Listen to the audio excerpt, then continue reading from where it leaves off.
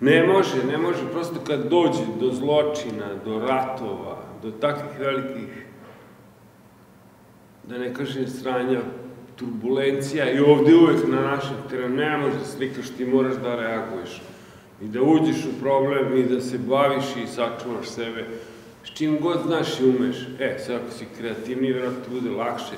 Lakše vodiš politiku sa onostranim stvarima koje su opasne, evo, čudo da čovjek opstane do dana današnjeg i doživeo to.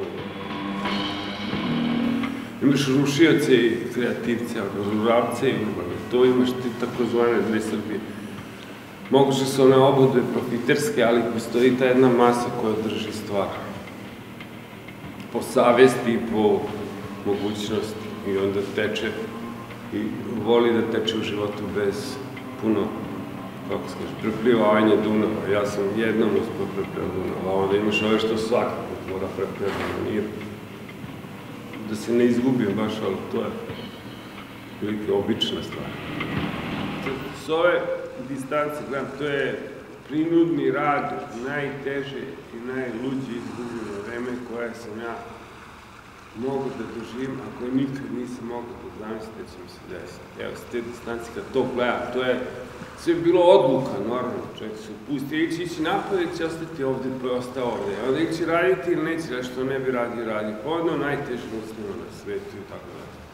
Do one 2000-te, onda su svi shvatili, sad će biti opet optimizma.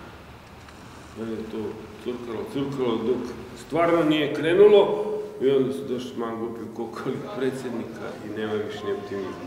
A zašto to dalje se nastavlja, to je samo.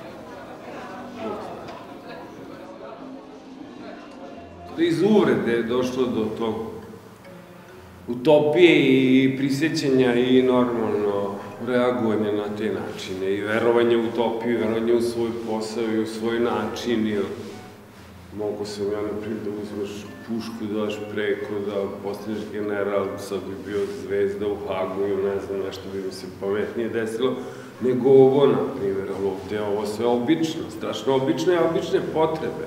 Da crtaš, da pišeš, da pričaš, da pevaš, da ne znam.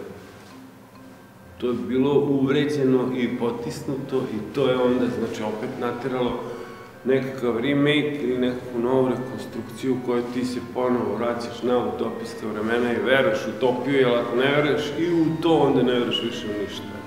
Veruješ u stvari sebe, u svoj zanat, u svoj posao i svoju misao. E sad, da li smo mi poslati, to ne znam, ali verujem da trebam još nešto.